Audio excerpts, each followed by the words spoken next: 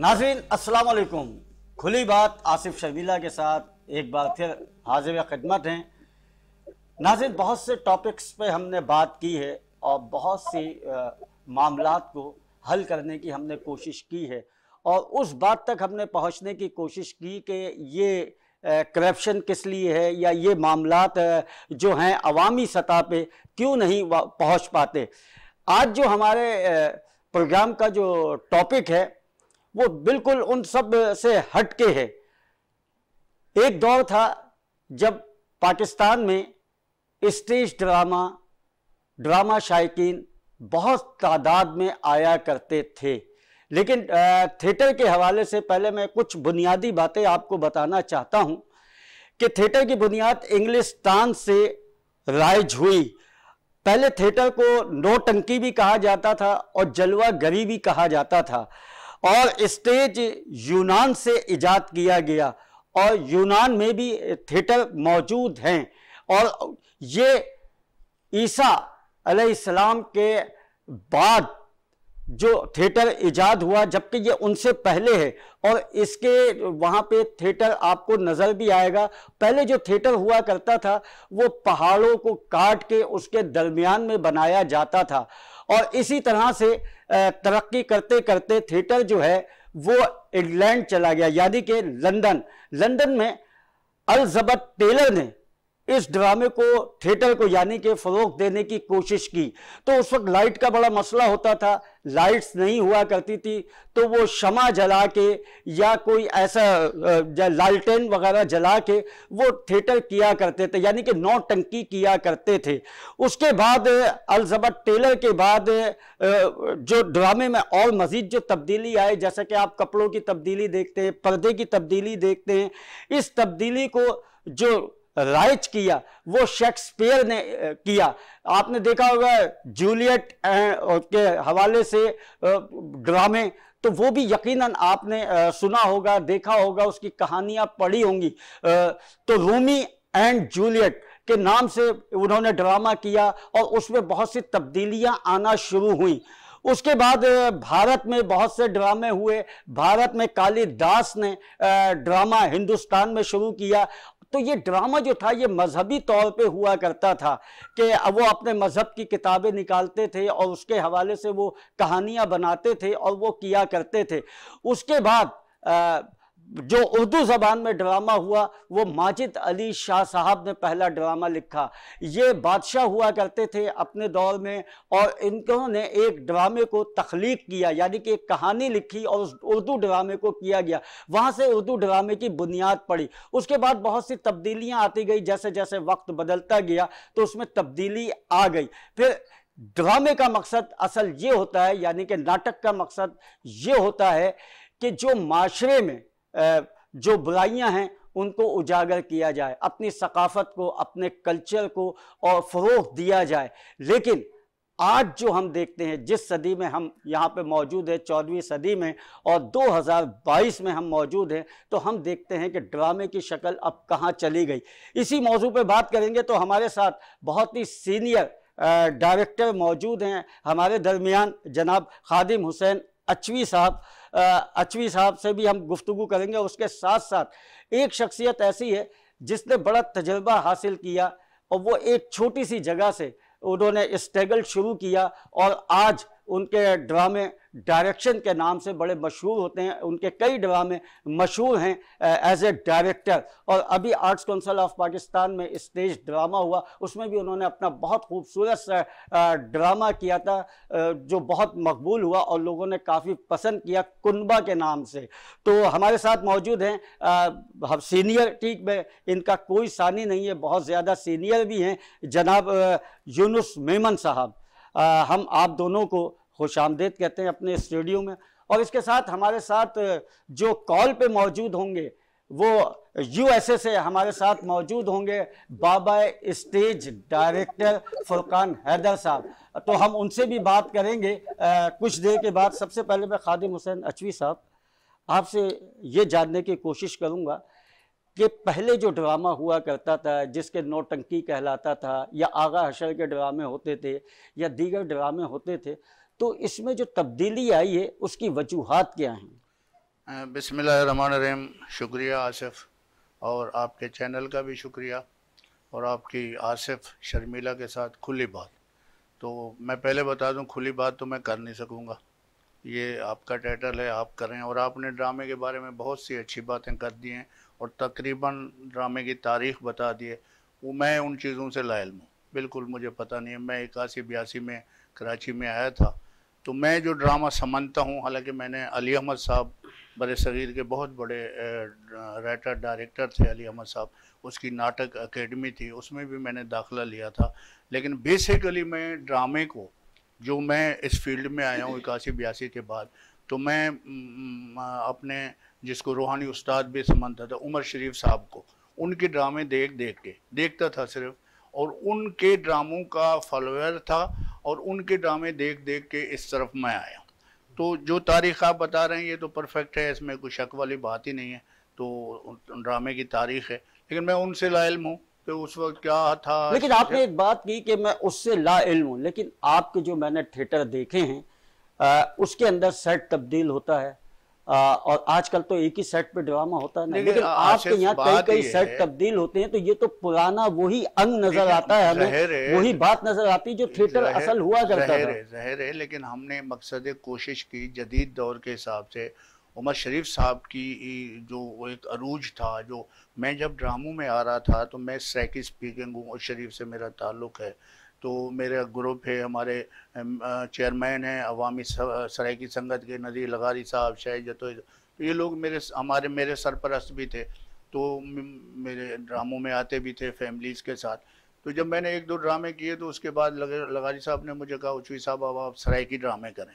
तो मैंने उनसे रिक्वेस्ट की कि, लगारी साहब मैं आया हूँ उमर शरीफ को देख के और उनके मुकाबले में सैयद फुरकान हैदर साहब आप उमर शरीफ को देख के आए हैं तो आप एक्टर बनने आए थे कॉमेडियन तो फिर आप ये प्रोड्यूसर और डायरेक्टर कैसे बन मुझे मुझे तो फनकार बनने का शौक था। मैंने टीवी के बहुत चक्कर काटे लेकिन एक एंट्री के लिए दो दो दिन एक एक दिन रात को सारी रात फिर मैंने वो अपने फनकारों वाला सिस्टम वहीं दफन कर दिया। फिर मैंने खुद आगे राइटर डायरेक्टर और इस तरह का सिलसिला शुरू किया। अच्छा यूनुस मेहमान साहब आपसे मैं सवाल करूँगा कि आपने बहुत निचली सतह से ड्रामों का आगाज़ किया है। आपका तजर्बा भी रहा। ज़ाहिर है, जो नीचे से आता है, उसकी बुनियाद बड़ी मज़बूत होती है। अब आप, माशाल्लाह, डायरेक्शन की हैसियत से जाने और पहचाने जाते हैं एज ए डायरेक्टर। तो आप कैसा देखते हैं? ये जो आज के जो थिएटर हो रहे हैं, इसको कैसा देख रहे हैं आप? सबसे पहले तो आसिफ शर्मिला साहब, आपका शुक्रिया। आपके चैनल का शुक्रिया कि आपने थिएटर का मौजू उठाया और बाकायदा आपने सारी डिटेल बता दी, थिएटर कहाँ से शुरू हुआ, सारा कुछ। बहुत अच्छी बात है ये मतलब सारा जो अब आदमी थ्योरी पढ़ता है तो ज़ाहिर नॉलेज भी होता है। जब मैं आया था तो सबसे पहली बात तो यह कि मैं पढ़ा लिखा नहीं था। और मुझे अदाकारी का भी शौक़ नहीं था। मुझे एक फ़ंक्शन वगैरह होते हैं ना म्यूज़िकल प्रोग्राम ये हो तो छोटा था तो मैंने ऐसे ही कह दिया अपने एक दोस्त से, कौसर अली नारंजा साहब से, कि यार आप लोग जब जाते हो जहाँ पर तो वहाँ पे रोज़ाना फ़ंक्शन होते हैं बोला हाँ तो मैंने कहा मुझे ले जाया करो। तो एक, मुझे इब्राहिम अली भाई ऑडिटोरियम होता था। जी जी आदम इब्राहिम अली भाई इब्राहिम अली। तो इब्राहिम अली भाई ऑडिटोरियम में एक प्रोड्यूसर थे समीउद्दीन साहब जिन्होंने फ़िल्म भी बनाई और थिएटर के बड़े प्रोड्यूसर थे। तो उन्होंने कौसर से कहा कौसर साहब से कि मुझे कोई गेट कीपर चाहिए। तो तीन चार गेट कीपर मिल जाएँगे तो उसने मुझसे पूछा कि तू काम करेगा? मैंने कहा हाँ करूँगा। फिर मुझे आदम जी ऑडिटोरियम में लेकर गए गेट कीपिंग के अंदर। तो मैं गेट कीपर बन के गया वहाँ पर सारा कुछ। तो वहाँ पे जैसे आजकल होता है ना बत्ता और ये बदमाशियाँ ये सब ये उन्नीस में भी था जब मैं इंटू हुआ। तो मैंने देखा वहाँ पे कुछ ऐसे लोग लफंगे। युद्धेश भाई ये तो आपकी हाँ। बुनियादी हाँ, बात है। हाँ, मैंने आपसे सवाल ये किया कि मैं ये थिएटर भी आ रहा हूँ। मैं आ रहा हूँ थिएटर पे। मैं थिएटर भी आ रहा हूँ कि जिस तरह आज का जो थिएटर है वो तो एक ये ना कि थ्योरी है, जो नए जनरेशन है, सारी नई। हमने जो किया है प्रैक्टिकल किया है। तो ये प्रैक्टिकल का, क्योंकि असल जो मैं बात बता रहा हूँ डायरेक्टर का मकसद ही नहीं पता यहाँ पर ना लोगों को। बोस्तों को पता होगा बोस्तों को नहीं। डायरेक्टर मीन्स एडमिनिस्ट्रेटर जो नीचे से शुरू होता है, ऊपर तक आता है। उसको एक एक चीज़ का पता होना चाहिए कि गेट पे बुकिंग पे सेट पे स्क्रिप्ट क्या चेक करना है, क्या नहीं करनी सारी चीज़ें थिएटर से वाबस्ता है। तो वो मैं वही बता रहा हूँ कि इस तरह करते करते करते जब एक एक दिन के ड्रामे होते थे, उसके बाद फिर एक ड्रामा आया मेहमा कैसे कैसे, सैयद फुरकान हैदर साहब का। उसमें मोइन अख्तर साहब ने काम किया जो कमर्शियल ड्रामा था। अब उसका नाम चेंज करके उसके बाद जब एक एंट्री के लिए एक लड़का आया जिसका नाम था उमर शरीफ साहब। उमर शरीफ साहब ने एक एंट्री की और उसने ड्राम, थिएटर को कहाँ से कहाँ पहुँचा दिया। फिर उनका लिखा हुआ एक ड्रामा 79 में बेरूपिया मोइन अख्तर जिसके डायरेक्टर भी फुरकान हैदर साहब थे। अब उन्होंने इतना सक्सेस किया कि ड्रामा यूँ आ गया। उसके बाद डाउनफॉल आया। डाउनफॉल आया तो फिर इसके बाद सर जोड़ के बैठ गया। डाउनफॉल क्यों आया? अच्छा मैं आपसे इस पे आगे बात करूँगा कि ड्रामे में क्यों आया? ये सवाल मैं कहीं और लेके जा रहा हूँ। अभी हमारे साथ मौजूद हैं बाबा स्टेज जिन्होंने बेतहाशा काम किया और एच साहब आपने भी बात की उनका नाम लिया और आपने भी उनका नाम लिया। हमारे साथ टेलीफोन कॉल पे मौजूद हैं सैयद फुरकान हैदर साहब। बीमार हैं। सबसे पहले तो हम दुआ करते हैं कि अल्लाह ताला उन्हें सेहत दे परवरदिगार। उनको सेहत याब करे और अमेरिका में हैं इस वक्त जेर इलाज भी हैं। फुरकान हैदर साहब आपको मेरी आवाज़ आ रही है?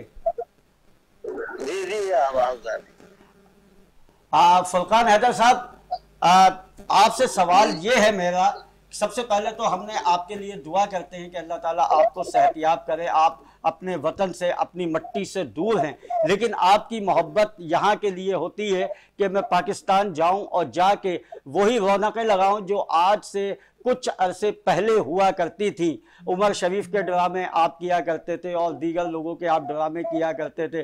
फ़िल्में आपने बनाई। आपने बड़ा कुछ दिया पाकिस्तान को। पाकिस्तान के ड्रामे जो हैं, वो दुनिया भर में मकबूल हुए। तो फुरकान हैदर साहब, आज आप स्टेज, हमारे जो पाकिस्तान स्टेज है, उसको कहाँ देख रहे हैं?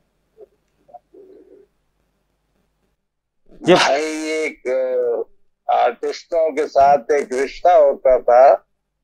उसमें आर्टिस्ट नहीं होता था वो एक फैमिली की तरह होता था ड्रामा और अब जो है इतना बिगड़ गया है थिएटर के लोग इतने पैसे मांग लेते हैं जो इतनी रिकवरी होती नहीं है।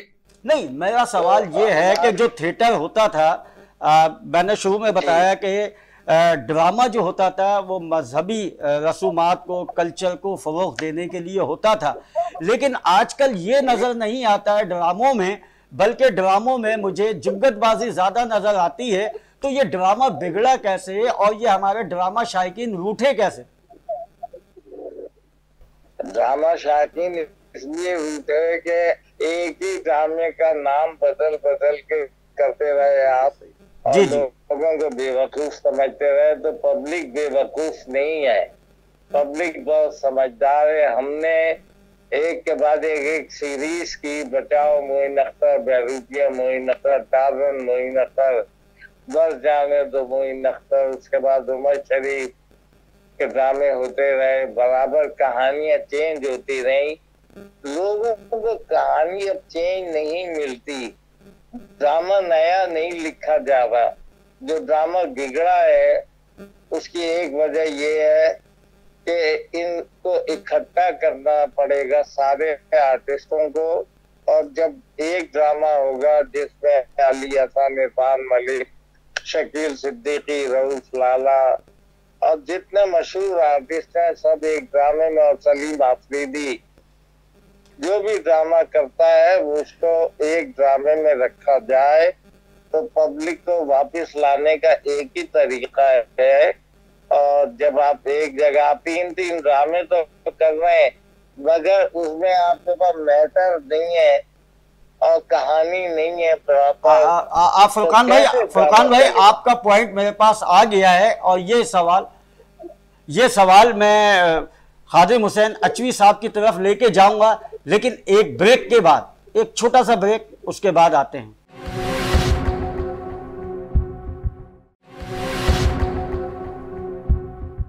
वेलकम बैक जी नाजरीन, हम बात कर रहे हैं थिएटर के हवाले से स्टेज ड्रामों के हवाले से।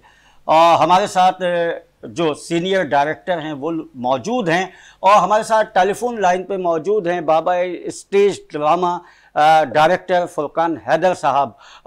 मैं आपकी तरफ़ आ रहा था अचवी साहब कि अचवी साहब, हमारे यहाँ थिएटर से कहानी क्यों खत्म हो गई? अभी आप कह रहे हैं बाबा स्टेज वो तो उम्र के हिसाब से शायद आप कह रहे होंगे। मैं फुरकान हैदर को ठेठर का बानी समझता हूँ। कमर्शियल ठेठर का, जो दुनिया में ठहर गया अब वो जिन ड्रामों की आप बात कर रहे हैं, वो वक्त और था, ज़माना और था, पढ़ी लिखी किताबें और थी। लेकिन सैयद फुरकान हैदर ने, मोइन अख्तर साहब ने, उमर शरीफ साहब ने दुनिया में ड्रामा फैलाने के लिए कमर्शल ड्रामा, अवामी कमर्शल ड्रामा जो लोगों को तफरी भी फराम करता था और मैसेज भी कन्वे करता था, वो थिएटर अब आप उस पर सवाल कर रहे हैं कि उस पर रिवाल क्यों आया? ये आपका सवाल है। तो ये मेरी नज़र में तो बानिया स्टेज है सैयद फुरकान अदा हम्म। क्योंकि मैं जब आया था तो इसी का तोती बोलता था इन्हीं का ग्रुप था इन्हीं के मैं इन्हीं को देख के इन्हीं के मुकाबले में मेरी बात अधूरी रह गई। तो लगाई साहब ने मुझे बोला अब आप सराय ड्रामा करो। मैंने उनको हाथ बांधे मैंने क्या देखें मैं मुकाबला करना चाह रहा हूँ शगिर्द की हैसियत से एक आम आदमी की हैसियत से सैयद फुरकान हैदर ग्रुप का उसके बाद मोइन अख्तर साहब का अपनी एक टीम बना के अपने रूहानी उस्ताद का उनको फॉल फॉलो करूँगा। तो फिर उन्होंने कहा ठीक है। समझ आ गई कि हाँ कि अगर मैंने सरायकी ड्रामा किया तो फिर मैं तो महदूद हो जाऊँगा। बहरहाल उन्होंने इजाज़त दी फिर हमने जो काम किया वो तो आप आप सबके सामने एक बात करना चाह रहा हूँ। कमर्शियल ड्रामे की बात हो रही है जी। तो थिएटर के अंदर कमर्शियल ड्रामा स्टार्ट हुआ मेमनी ड्रामों से। ये मैं आपको बता दूँगा। बिल्कुल ठीक है? ये फुरकान साहब भी लाइन पर मेरी तारीख में ये नहीं है लेकिन ये बिल्कुल सही कह रहे हैं। मेमनी ड्रामे से स्टार्ट लिया कमर्शियल ड्रामा और पहला कमर्शियल ड्रामा उमर शेरियार साहब ने किया। ठीक है ना? उसके बाद फिर उस्मान मेमन साहब आदम सुमरो साहब ये एच बी खान ये वो लोग थे जो मरहूम रजाक राजू साहब स्क्रिप्ट लिखते थे बाकायदा। क्योंकि आपने कहा कि थिएटर के अंदर कहानियाँ ख़त्म हो गई है। हम्म। ज़रूर होगी इसलिए कि राइटर ही नहीं है कोई। कमर खुर्शीद अहमद साहब हम्म। इतने अच्छे राइटर आज वो घर बैठे हुए उनको कोई नहीं अच्छा, बुला रहा यूनुस भाई आपकी बात काटते हुए हाँ। हमारे मुल्क का एक बहुत बड़ा स्टार जिसने पाकिस्तान पाकिस्तान से बाहर हमारे मुल्क की बड़ी नुमाइंदगी की है मिज़ा के हवाले से अदाकारी के हवाले से हमारे साथ मौजूद हैं रऊफ़ लाला साहब। रऊफ़ लाला साहब आपको मेरी आवाज़ आ रही है? जी जी आ रही है। अस्सलाम वालेकुम। अस्सलाम रऊफ लाला साहब, फुरकान हैदर साहब हमारे साथ टेलीफोन लाइन पे मौजूद हैं, यूनुस मेमन साहब यहाँ पे मौजूद हैं, खादिम हुसैन अचवी साहब हमारे साथ मौजूद हैं। हमारी बात चल रही है थिएटर के जवाल के हवाले से कि थिएटर का जवाल क्यों आया? तो क्या अभी फुरकान हैदर साहब ने कहा कि हमारे यहाँ कहानी ख़त्म हो गई है? तो क्या वाकई कहानी ख़त्म हो गई है या लिखने वाले ख़त्म हो गए हैं या हम लोग खुद तवज्जा नहीं देते? अरे यहाँ हमारा मूड खत्म होने के आ रहा हम उसकी टेंशन है आप कह रहे हो कहानी खत्म मेरे भाई थिएटर किसी दौर में खत्म नहीं होता याद रखें। काम करने वाले या तो हालात खराब कर देते हमें या हम हेलो जी जी आपकी आवाज़ आ रही है मुझे। अच्छा मुझे आपकी नहीं आ रही इसलिए मैं कह रहा हूँ कि हालात जो है ना कराची के 89 में सैयद फुरकान हैदर का ड्रामा बकरा किस्सों पे हिट हुआ। हम सब हिट हुए। इसके बाद से कराची का हालात आपके सामने रहे। फिर इसके बाद, ये जो थिएटर जैसे भी हम चलाते रहे, मैं था, मेरे साथी फनकार करते रहे।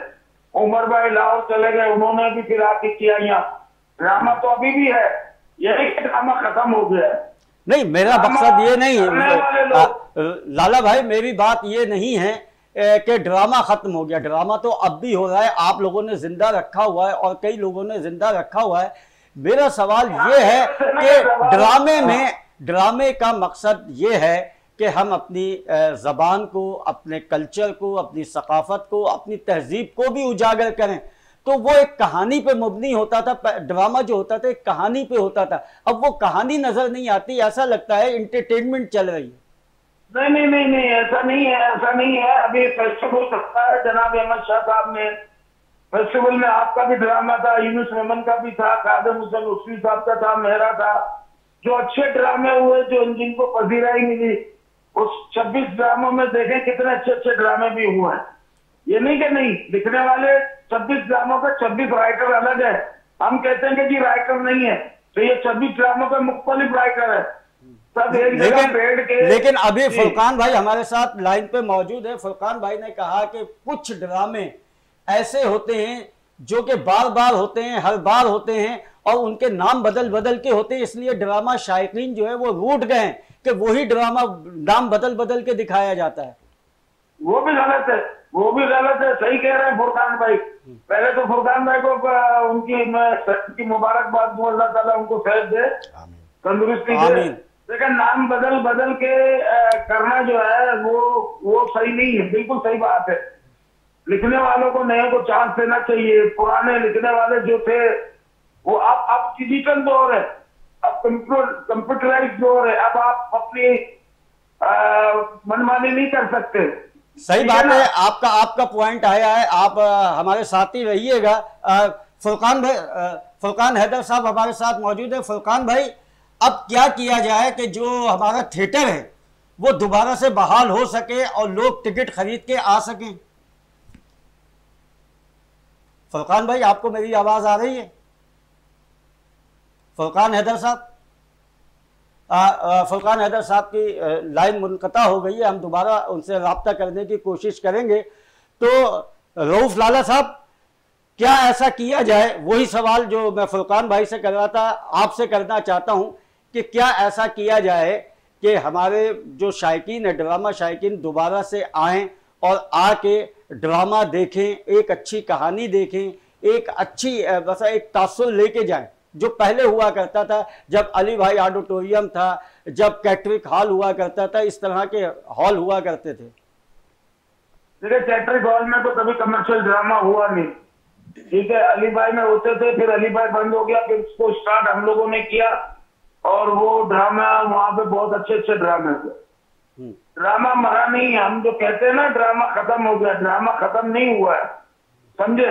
हर दौर में लोग आते हैं चेंज होता है ड्रामा और कभी कॉमेडी का दौर होता है, कभी डांस का दौर होता है तो लाहौर में जिसको डांस देखना होता है, वो डांस देखते हैं, जिसको ड्रामा देखना होता है ड्रामा देखते हैं। लेकिन अब तो वो डांस इतना हैवी हो गया ड्रामे पे कि आज लाहौर में, अलहमरा में भी इतने डांस होते हैं प्राइवेट थिएटर में भी इंटरवल से पहले ड्रामा ड्रामे के बाद डांस तो वो ड्रामा तो अब आप देखा जाए तो पाकिस्तान से बोले आप कराची को ना वो करेंगे कराची से खत्म हो गया। कराची से ये देखेंगे जो ड्रामे करने वाले थे लोग वही चले गए। जी। खान भाई चले गए उमर शरीफ का इंतकाल हो गया मोइन अख्तर का सिकंदर का नाम लियाकत सोल्जर। तो अब कॉमेडियन कौन है? आप उंगलियों पे गिन ले आपके आप जिनको समझते कि इनके नाम के लोग आएँगे कुछ वो टिकटे बिकेंगी भाई ड्रामा जो है फुरकान भाई जब करते थे या उमर भाई को लेके किया है तो उमर भाई के साथ भी फुरकान भाई ने अच्छे अच्छे पैकेज लगाए।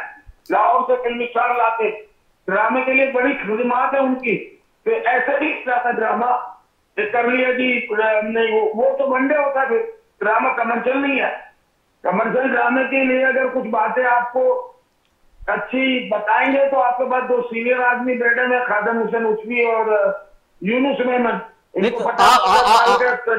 लाला भाई आप भी बताएँ ना कि कमर्शियल ड्रामे के लिए क्या बुनियादी है कि जिसकी वजह से हमारी जो ऑडियंस है वो आए और आपने एक बात तो बहुत अच्छी की है तो ये मुझे बता दीजिए कि ड्रामे में ये जिस तरह के जो मुकालमे हो रहे हैं जिस तरह के डा, ये डांस हो रहे हैं तो क्या ये लाजमी है कि यही हो आप लोग भी तो करते हैं ना मतलब एक कहानी पे करते हैं या एक उसके ऊपर थीम के ऊपर करते हैं तो वहाँ पे क्यों नहीं नहीं हो रहे? देखा मेरी बात सुनो मसला पता है क्या है? ये पॉइंट ये ये सख्ती डायरेक्टर को करनी चाहिए। फुरकान हैदर साहब के ड्रामे में डांस नहीं होते थे ठीक है? उमर भाई के ड्रामे में डांस नहीं होते थे। हमारे ड्रामों में एक आधा रख लिया सिचुएशन से हो गया। अगर आप सात डांस रखते हो तो इसका मतलब आपको आप आपको कॉमेडी में कमज़ोरी है तो आपने डांस ज़्यादा रखे। हाँ है खादिम मैं खादिम हुसैन नचवी साहब से सवाल करना चाह रहा हूँ। कि खादिम साहब ड्रामा जो असल हमारा थिएटर स्टेज है, जिसको कि मोइन अख्तर साहब ने, फिर उमर शरीफ साहब ने कमर्शियल किया। अब शकील सिद्दीकी हैं, रऊफ़ लाला हैं, जो कराची में काम कर रहे हैं और लाहौर में भी हैं जो काम कर रहे हैं। लेकिन कराची को जब हम देखते हैं और लाहौर को हम देखते हैं तो हमें बड़ा फ़र्क महसूस होता है। तो ये फ़र्क क्यों है? और उसकी वजह क्या है ये फ़र्क आने की? क्योंकि ड्रामा तो ड्रामा होता है ना। वो तो एक कहानी पे होता है। मैं आपकी बात कर रहा हूँ सिर्फ़ ड्रामा लाहौर में नहीं है। इसने कह दिया ड्रामा लाहौर में। लेकिन नाम तो वो ड्रामा लिखते हैं या खेल लिखते हैं? ड्रामा ये ड्रामा थोड़ी होता है। ड्रामा सोहेल अहमद के निकलने के बाद ड्रामा लाहौर में खत्म हो गया। मैं तायद करता हूँ लाला की बात का ये बिल्कुल सही कह रहे हैं। क्योंकि वहाँ वल्गर और डांसिंग के अलावा कुछ नहीं है। क्योंकि एक घंटा वहाँ बाकायदा पोर्शन है डांस का। जिसको ड्रामा देखना है वो ड्रामा देखें और उठ के डांस वाले चले जाते हैं। तो सुहेल अहमद साहब ने छोड़ा बबू बराल साहब ने अमानुल्ला साहब जो किंग कॉमेडी था ये सारे जो है मस्ताना साहब वगैरह क्योंकि वहाँ छापे पड़ने लग गए थे। मैं माजरत के साथ अच्छा। में कोई हाँ बाकायदा छापे पड़ते थे। अल्लाह का शुक्र है हाँ। अच्छा ये- अच्छा ऐसा है कि अभी क्योंकि आपने मुझसे भी सवाल किया और लाला ने भी कहा कि सीनियर तो मैं आपकी गलत फहमी एक दूर कर देता हूँ। मैं हकीकत बता रहा हूँ कि हम आपका सवाल है कि हमारे ड्रामे पे दीवाल क्यों आया? आई मीन कराची से हम बात कर लेते हैं। उधर जैसा भी हो रहा है वो जाने उनका काम जाने। हमें उनसे कोई सरोकार नहीं है।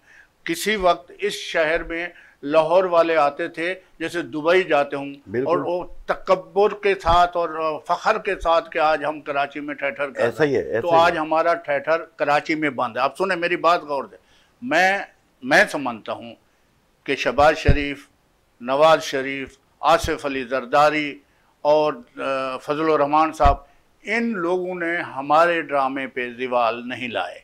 ठीक है ना? और एस्टेब्लिशमेंट ने भी हमारा ड्रामा बंद नहीं कराया। और हमारे फनकारों का कहना भी है और हकीकत भी है कि हमारे फनकारों ने इंडिया की सकाफती सरहदों में घुसकर घुसकर उनको वहाँ मकसद सबक भी सिखाया है। जैसे लाला साहब ने किंग का वो लिया ये हकीकत है, ये हकीकत है। है आप मेरी बात सुन ले कॉमेडी पूरी कॉमेडी इंडिया में नहीं ये हमारे फनकार सिखा आए फनकार अब मेरा अब मेरा एक सवाल है सब फनकारों से भी कराची वालों से भी कराची के शैकीन से भी कि हमारा घर क्यों बंद पड़ा हुआ है? कि हमने इंडिया की सरहद में तो घुस के उनको मारा ना। तो हमारे घर में अंधेरा क्यों है? हमारा कमर्शियल थिएटर क्यों बंद हो गया है? हमारे कमर्शियल थिएटर में लोग क्यों नहीं आ रहे तो मैं एक बात समझता हूँ कि इसके जिम्मेदार कौन है?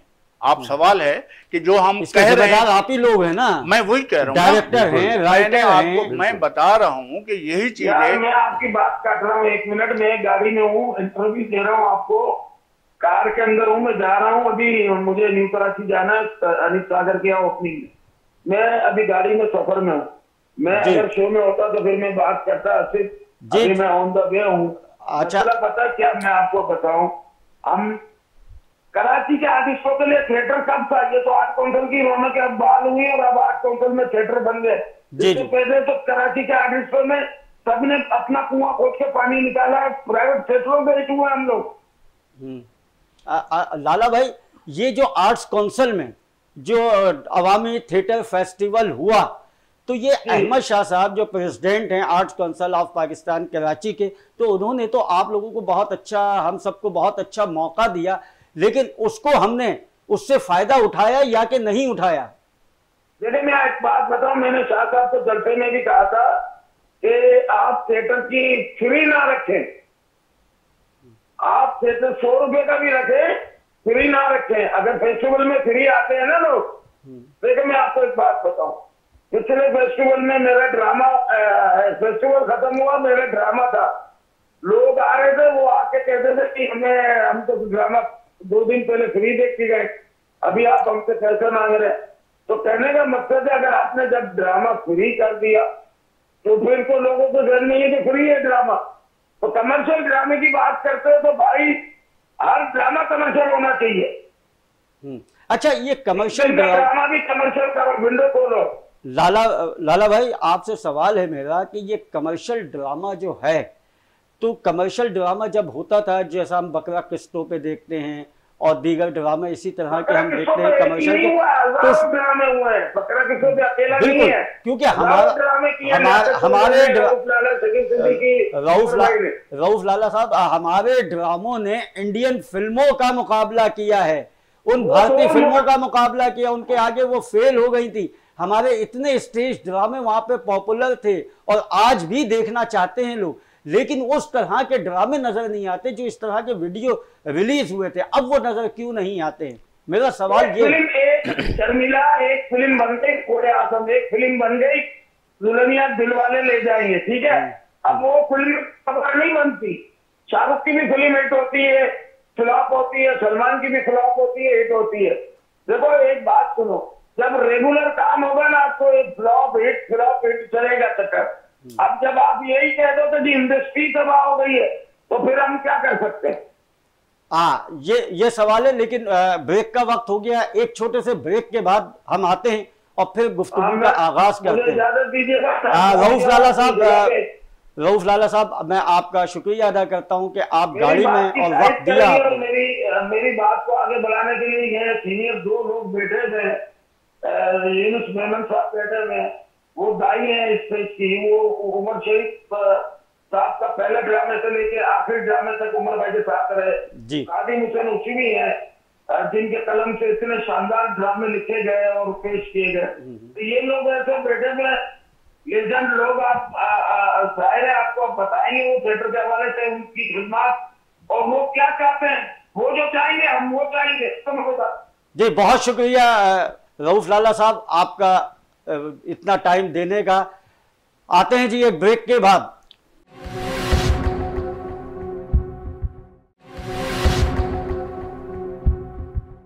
वेलकम बैक हमारे साथ फुरकान हैदर साहब थे रऊफ लाला साहब थे, टेलीफोन कॉल पे और हमारे स्टूडियो में मौजूद हैं यूनुस मेमन साहब और खादिम हुसैन अचवी साहब।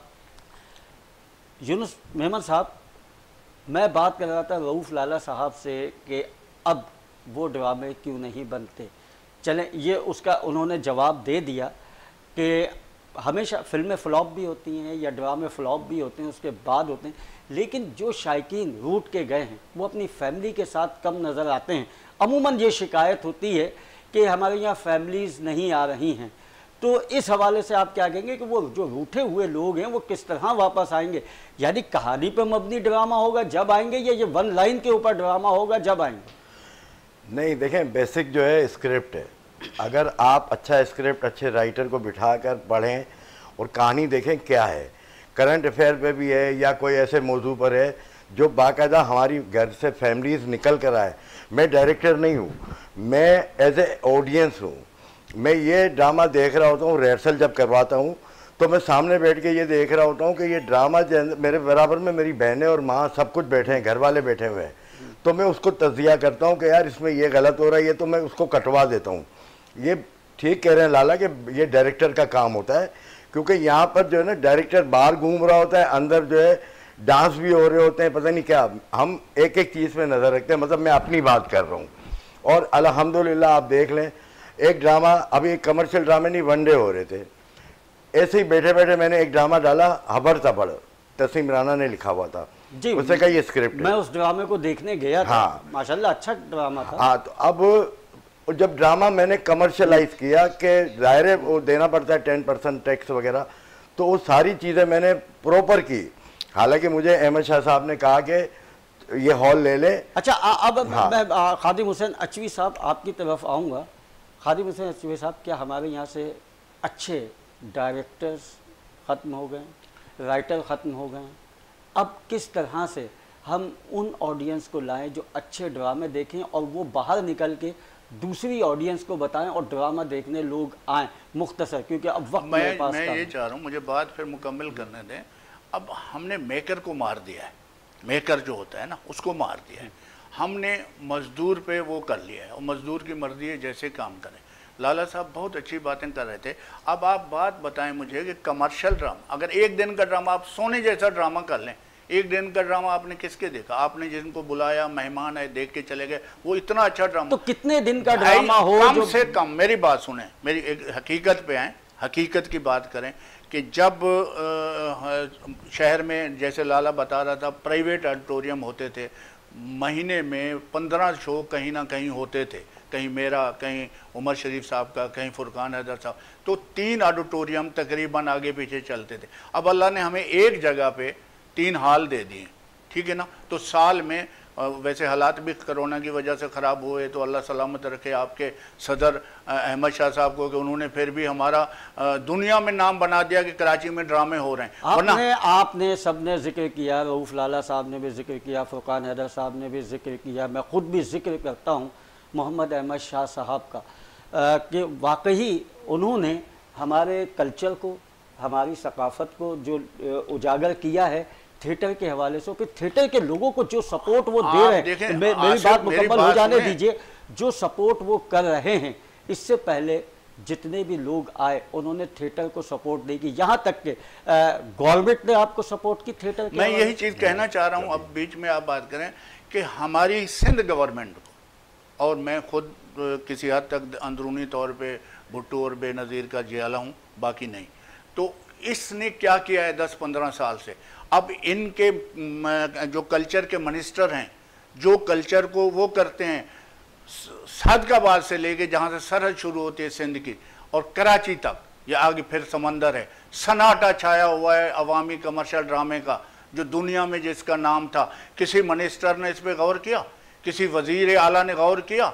मैं आपको एक ऐसी बात बताऊँ कि एक वक्त था बाखुदा मैं हल्फिया बता रहा हूँ कि इस हमारे मौजूदा वज़ीर आला मुराद अली शाह साहब के वालिद साहब की तरफ़ से बाकायदा पैगाम आते थे कि यार इस शहर में ठहर करो।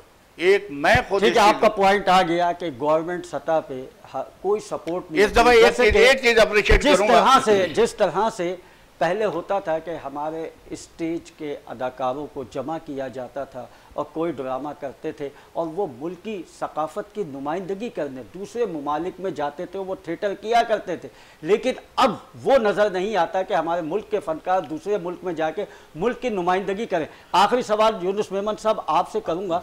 अहमद शाह साहब ने बहुत बड़ा ग्राउंड दिया। आर्ट्स काउंसिल को फनकारों के लिए। बिलखसूस वो जिस तरह से काम करते हैं जिस दिल से काम कर रहे हैं तो क्या हमने उनके एतमाद के ऊपर पूरा उतरे? या कि अभी नहीं उतरे उस तरह के थिएटर नहीं हो रहे जिस तरह से वो चाहते पैसे भी देते हैं हॉल भी देते हैं हर चीज़ देते बिल्कुल। देखें ये है कि मैं ये बात हम्म, बताऊँ आपको कि आप ये इमदाद कर रहे हो। देखिए फनकार जो काम करने वाला लोग हैं उनको आगे लाओ। ये मैं रिक्वेस्ट करता हूँ उनसे शाह साहब से कि काम करने वाले लोगों को आगे लाएँ और उनको एक क्या करते हैं कल्चर मिनिस्टर ने पचास हज़ार दे दिए वहाँ से लाख मिल गए यहाँ से पच्चीस हज़ार मिल गई हो ये नहीं है इसका यानी इमदाद नहीं चाहिए नहीं, काम चाहिए काम चाहिए वक्त- और वक्त काम बिल्कुल- लें। बिल्कुल खत्म हो चुका आपने बहुत हाँ, अच्छी बात की है काम लें, ये मैं- कि अहमद शाह साहब जिस तरह से कोशिश कर रहे हैं थिएटर के अ, के लिए कि ये थिएटर बहाल हो सके मैं सॉरी आसिफ एक बात। और अभी दौर जो है ना वो ऐसा आ गया कि आपको मार्केटिंग लाजमी है। और मार्केटिंग अब देखें ना उस साइड वाले हॉल पे मार्केटिंग भी देख लें ड्रामे भी सक्सेस ये क्या वजूहत है कि हमारे आर्ट कौंसिल के सदर साहब अगर थोड़ी इधर भी तवज्जो दे दें कमर्शियल की तरफ़ तो ये ड्रामा फिर दोबारा आ सकता है। ये देखें मैं अच्छा। ठीक आपके है ठीक है आपका पॉइंट आ गया आपका पॉइंट आ गया। जी थिएटर की तरफ़ तवज्जो अशद देने की ज़रूरत है। हमारी सरकारी सतह को भी देने की ज़रूरत है। सिर्फ़ यही नहीं कि ये फ़र्ज़ सिर्फ़ Arts Council of Pakistan, Karachi या अहमद शाह अंजाम दें। यह हमारी हुकूमत को भी चाहिए कि इस तरफ़ तवज्जो दें। और दूसरी बात जो नए डायरेक्टर्स हैं या जो पुराने डायरेक्टर्स हैं, उनको मार्केटिंग की तरफ़ तवज्जो देने की ज़रूरत है, अपनी कहानी की तरफ़ तवज्जो देने की ज़रूरत है और डायरेक्शन को मज़बूत बनाने की ज़रूरत है। अब देखना यह है कि आगे मुस्तकबिल में क्या होगा। जिस तरह से मैंने कहानी बताई आपको, उसी तरह से तब्दीली आती रहेगी और आगे जाके क्या तब्दीली आती है कि हमारा थिएटर हमारी सकाफत, हमारी उसको जो उजागर करता है, वो कर सकेगा आगे, या कि इसी तरह से लोग रूठे रहेंगे। इजाज़त दीजिए फिर मुलाकात होगी। अल्लाह हाफिज़ नासिर